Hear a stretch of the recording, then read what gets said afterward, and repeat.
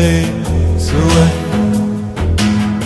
My frozen in my hand, and the letter I can't write. It seems to be. Saudações comunidade Nação Rock and Roll, vamos falar agora diretamente e finalizar o perfil da banda Faville falando mais sobre ela, né? Informações gerais, também conhecida como Forever Young, que é um nome é, de um disco e de uma música deles, né? Bastante conhecida, aliás. Eu creio que está entre as mais conhecidas dele, pode ser até entre as 10 mais conhecidas a nível mundial. Origem: Münster, Renânia do Norte, Westfália, país Alemanha, gênero City Pop, New Wave, período de atividade de 82 até atualmente. Bom, essa banda tem uma pegada meio rara, né? Bem, banda dos anos 80, The Cure e por aí vai. Ainda meio som eletrônico, pop rock e por aí vai.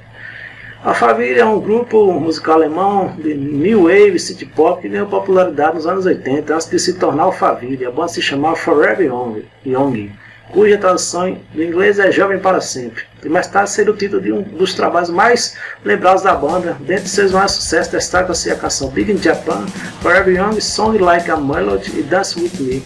Biografia, sua formação, a banda Família formada em 82 quando Marian Gold e Bernard Lloyd se uniram no projeto musical Nelson Community. Alguns meses depois, Frank Mestens é, juntou-se ao projeto. Juntos, os três escreveram a canção Forever Young e gravaram sua primeira demo com o mesmo nome. Forever Young de 84. Na, primeira, na primavera de 84, a banda lançou seu álbum de estreia Forever Young, produzido por Colin Persson, Wolfgang Luz e Andreas Budger.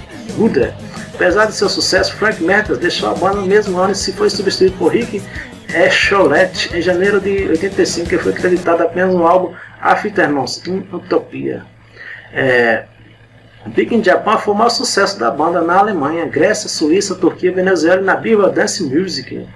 É, os próximos é, dois singles da banda, Sound Like a Melody e Forever Young, também foram muito bem é, sucedidos nas paradas europeias, apesar de não ter conseguido um sucesso expressivo nas paradas americanas. Né? É, lançamentos é, internacionais Forever Young seguiam de 89, 93, 96, 99, 2001, 2005 e 2009. Muitas versões da canção foram lançadas por outros artistas, canções estas que muitas vezes foram erroneamente atribuídas a Marian Gold e Laura, Laura Branigan. A Fiternons em Utopia de 86. Em 86 foi lançado o terceiro álbum da banda, A Fiternons em Utopia, cujo primeiro single Dance With Me atingiu o topo 20 da, na Alemanha. França, Noruega, Suécia, Suíça, África do Sul, na Austrália e Itália. Atingiu o top 30. Ou seja, foi um sucesso, principalmente seu grande maioria na Europa. Né? O segundo single do álbum foi a canção Universal Dead, cujo terceiro single a banda lançou Jerusalém, exclusivamente na Alemanha, enquanto é, lançaram Sessions na Austrália. França, Holanda e Suíça. O último single do álbum foi Red Rose de 87, Jailbreak Blues, Blue de 89. O novo LP foi lançado em 89 sob o título de Brett Taking Blue, que inclui os singles Romeo e Mystery of Love. O álbum foi lançado com um CD é, mais G, é, que incluía fotos em preto e branco da banda com letras originais das canções e tradução alemã. Prostitute de 94 e Salvete de 97. O próximo álbum da banda Prostitute só foi lançado em 94. O primeiro single é, lançado foi Fools, seguido pelo segundo e último álbum, é, álbum The Impossible Dream. Durante a turnê do álbum Robbie Friends, é, Robbie Friends se juntou à banda na bateria em 97. Rick Echolette deixou o grupo.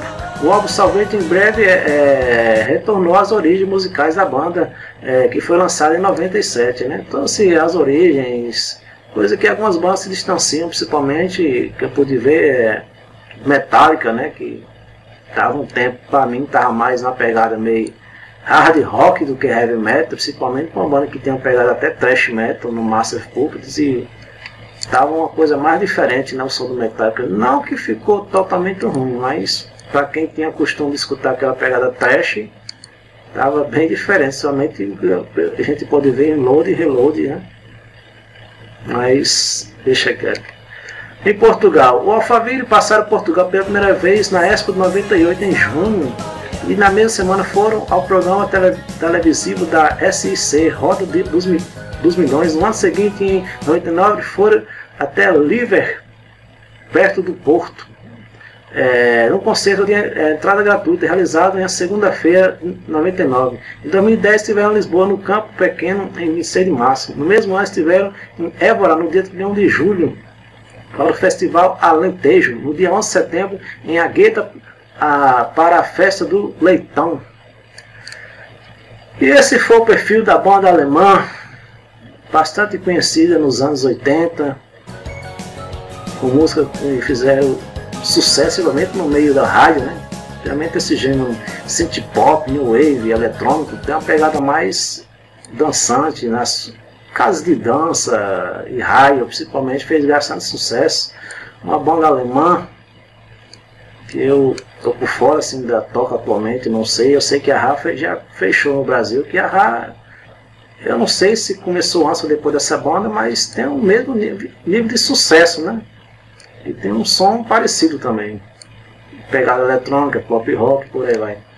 E esse foi o perfil da banda alemã Alphaville. Finalizando o perfil da banda, falando agora dela. Ok? Valeu, até a próxima.